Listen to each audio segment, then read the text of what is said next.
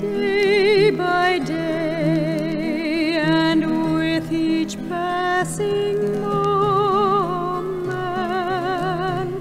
strength I find to meet my trials here, trusting in my Father's wise bestowment.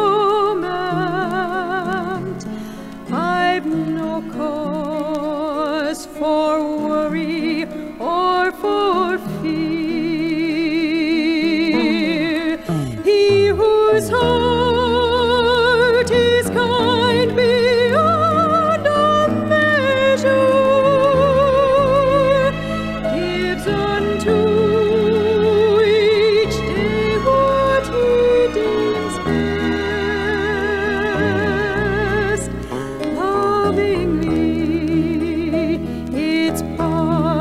up.